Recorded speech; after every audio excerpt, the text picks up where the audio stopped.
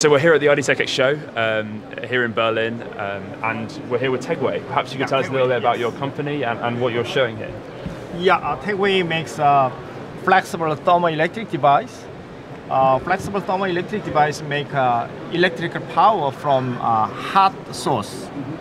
Uh, for example, in, the, in most of the factories uh, has a, uh steam pipe. Steam pipe surface temperature is very high. So this is just suppose that uh, steam pipe.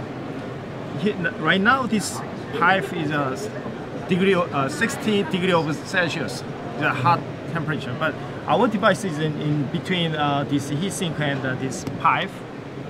So right now, our device make uh, electrical power of uh, 300 milliwatts. Right. So there is there are, we can uh, we uh, connect to some sensors on here, so we can use this power. The sensor data transmit to here, receiving, and we displaying the data here. So what sort of data, in this example, what data Yeah, would you collect? Example. That's, So, uh, temperature and the gas and uh, humidity. okay, right. So the humidity, different gas sensors, Yes, and then temperature. The, the temperature of the Yeah. pipe and of the Yes. ambient temperature. There is no electrical power supply. There is no battery.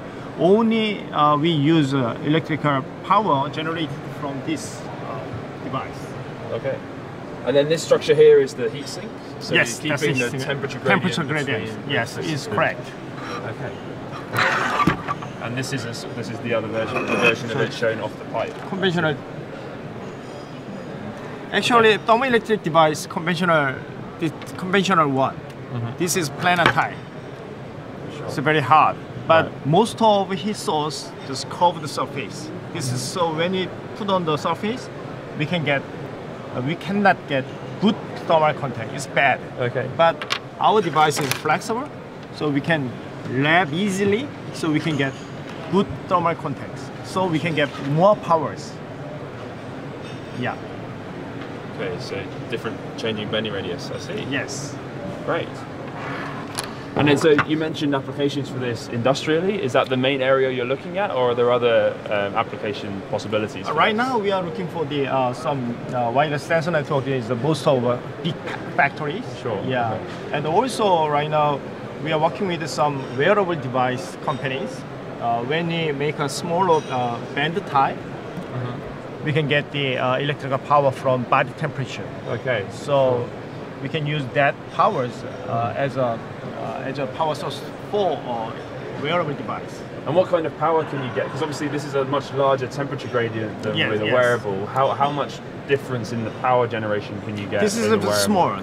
Okay. Y- y- Right now we can get only uh, small powers, but uh, just uh, uh, that's enough power to operating the uh, electrical watch. Mm-hmm. Yeah, just around uh, one milliwatts. Okay. Yeah, from uh, 40 square centimeters areas. Yeah. One milliwatt, 40 square Yeah. centimeters. Okay. And do you need a heat sink in those devices, or would it work differently? Yeah, just uh, a metal band.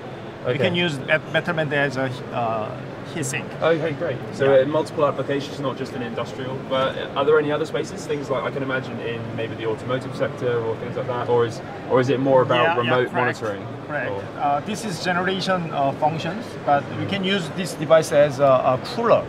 So right now we are working with some uh, applications for cooler, for example, automotive, Mm-hmm. and also uh, apparel, Okay. temperature control clothing, uh, and uh, that's we invented new uh, applications uh, that's called the uh, thermal haptics Thermal haptics. Wow. for VR, AR, or games.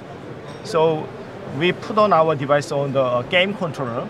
So that depends on uh, with the contents, the hot and cold we express Oh, I uh, see. temperature. So yeah. thermal haptics is an area that I've Yeah, yeah, wanted areas. So Yes. you get tactile haptics, kinesthetic, but thermal is really a very much like groundbreaking new area. So it's great to hear this work being done in Korea, and and, and thanks very much for t- for walking us through this presentation.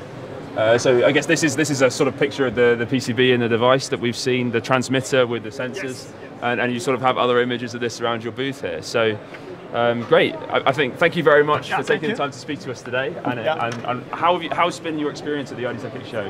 Have you met some good contacts? How's it been here? How- uh, How's the show been for you? This first This time, event, yeah. yeah, this first exhibitions to us. So we are looking for the uh, the possibility of uh, our business. This is a marketable or not? I want to check that. Yeah. yeah, and that's a really good chance to us. Yeah. Yeah, so, so uh, are validating the market. Do you think it is going to be successful? How, how are you getting some yeah. interest? Yeah. Excellent. I believe it. Great. Thank you very thank much. you. Thank you.